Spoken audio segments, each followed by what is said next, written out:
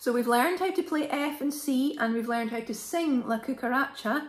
Now we're going to put those two things together. So the blue words on the song sheet are going to be for your F chord and the pink words are going to be for your C chord and the black words are where you don't strum.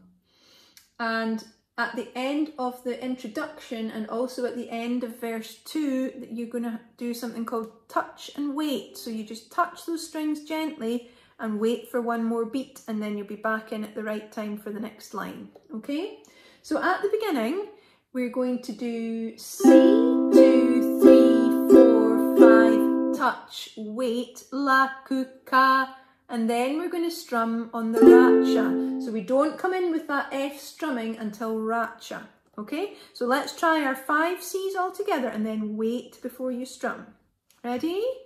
Uh, one, two, three, four. C, two, three, four, five. Touch, wait, la cucaracha,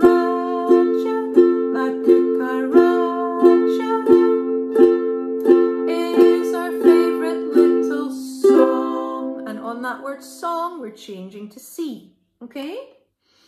Let's try going on now to It's Only Two chords, so we should be on the pink for C. Ready?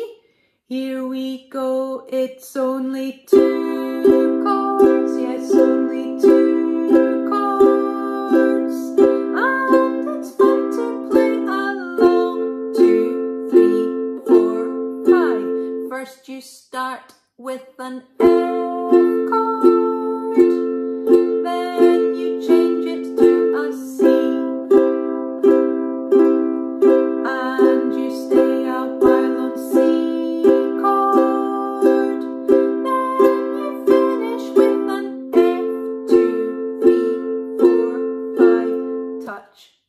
la cucaracha, la cucaracha